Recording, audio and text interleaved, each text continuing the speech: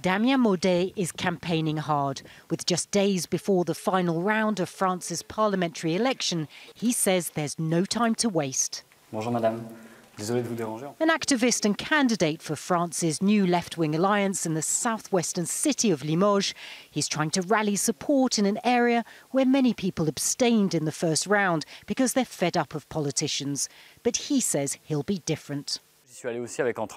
I come from here and I want to see MPs that actually represent ordinary people because that's not been the case for five years.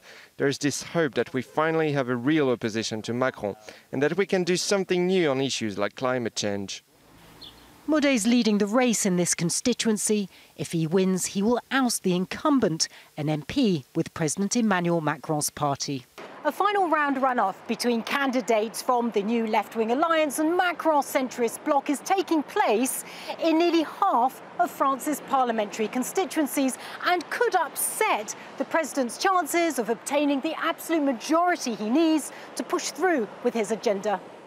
With things looking uncertain, Macron made a rare appeal to voters this week. We need a solid majority to ensure stability, both outside and inside our borders. Nothing could be worse than to add chaos in France to the chaos in the world. Concern over climate change, health and inflation has fueled momentum for the leftist bloc. At Limoges' historical food market, the cost of living is never far from people's minds. People's salaries haven't changed, but everything's going up by 5% or even more for fuel. People worry about the future, about getting to the end of the month. With costs going up, people ask us if we are going to put our prices up.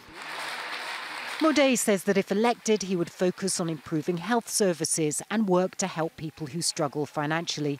So far, the left and centrists are neck and neck in terms of votes nationally, but it's estimated that Macron's alliance will win most seats. The numbers may be hard to predict, but those here hope that times are changing. Natacha Butler, Al Jazeera, Limoges, France.